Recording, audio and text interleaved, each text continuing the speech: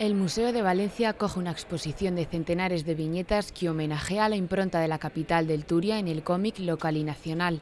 La muestra exhibe el legado de 18 dibujantes que a lo largo de su trayectoria han convertido Valencia en escenario y fuente de inspiración de sus trabajos. Gira en torno a dos ejes. Intenta reflejar eh, la Valencia vivida, o la, Valencia, la ciudad de Valencia y alrededores tal y como son, en el mundo de los cómics, como han sido representados, y luego la Valencia soñada, que es bueno, pues variaciones, eh, pues algunas veces más fantásticas, otras veces menos fantásticas, sobre el paisaje urbano de la ciudad y sus alrededores. Para reconocer sus proyectos se han recogido unas 400 viñetas plasmadas en dibujos, maquetas y carteles desde los años 70 hasta la actualidad.